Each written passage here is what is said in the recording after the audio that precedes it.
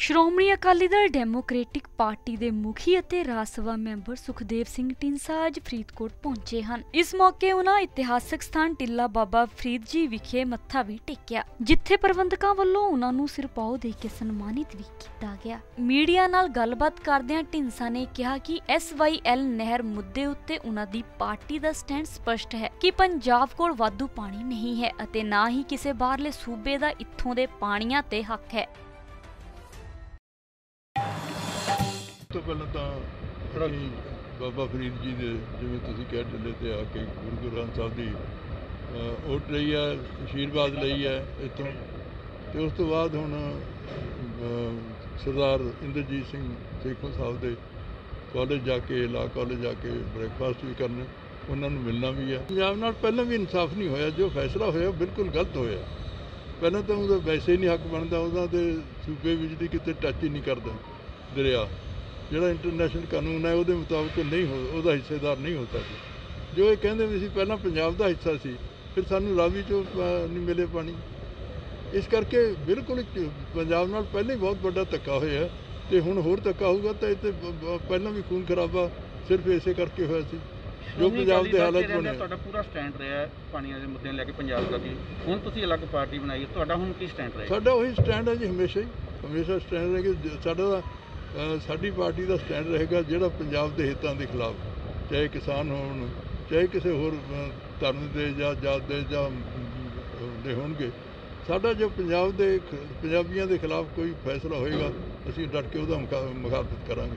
ਤਾਂ ਇਹ ਦਿੱਤਾ ਹੈ ਕਿ ਪਹਿਲਾਂ ਤਾਂ ਸਾਡਾ ਧਰਮ ਤੌਰ ਤੇ ਜਿਹੜਾ ਧਰਮ ਦਾ ਹੈ, ਉਹ ਚਾਹੇ ਐਸਜੀਪੀਸੀ ਹੈ, ਜਿਸ ਤਰ੍ਹਾਂ ਗੁਰੂ ਗ੍ਰੰਥ ਸਾਹਿਬ ਦੀ ਬੇਅਦਬੀ ਹੋਈ ਹੈ, ਜਿਸ ਤਰ੍ਹਾਂ ਗੁਰੂ ਗ੍ਰੰਥ ਸਾਹਿਬ ਨੂੰ ਦੇ ਹੁਣ ਵੀ 267 ਸਰੂਪਾਂ ਦਾ ਹੈ।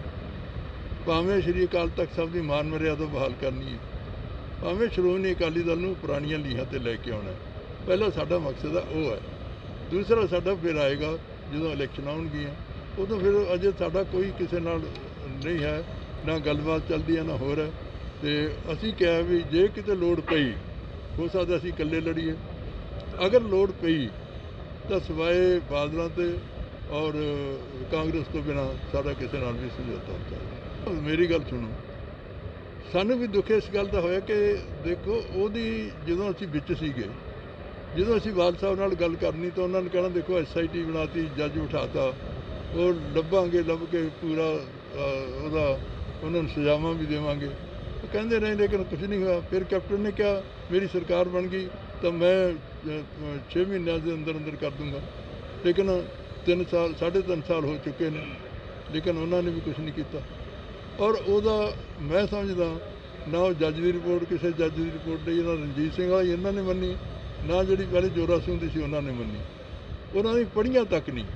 ਇਸ ਕਰਕੇ ਮੈਂ ਸਮਝਦਾ, ਇਹਦੇ ਲਈ ਇਨਸਾਫ ਲੜਨ ਲਈ ਸਾਰੇ ਸਿੱਖ ਉਨੀ ਦਰ ਤਸੱਲੀ ਨਹੀਂ ਹੋ ਸਕਦੀ, ਜਿੰਨਾ ਚਿਰ ਸਾਨੂੰ ਇਨਸਾਫ ਨਹੀਂ ਮਿਲਦਾ। ਦੇਸ਼ ਦੁਨੀਆ ਤੇ ਕਰੋਨਾ ਮਹਾਮਾਰੀ ਦਾ ਅਸਰ ਇਹ ਜ਼ਰੂਰੀ ਹੈ ਕਿ ਤੁਹਾਨੂੰ ਮਿਲੇ ਸਹੀ ਜਾਣਕਾਰੀ ਅਤੇ ਪਤਾ ਹੋਵੇ ਸੱਚੀ ਖਬਰ। ਅਜੀਤ ਵੈਬ ਟੀਵੀ ਦੇ ਸੈਂਕੜੇ ਪੱਤਰਕਾਰਾਂ ਦੀ ਹੈ, ਹਰ ਪਲ, ਹਰ ਜਗ੍ਹਾ ਤੇ ਹਰ ਸਥਿਤੀ ਤੇ ਪੈਣੀ ਨਜ਼ਰ।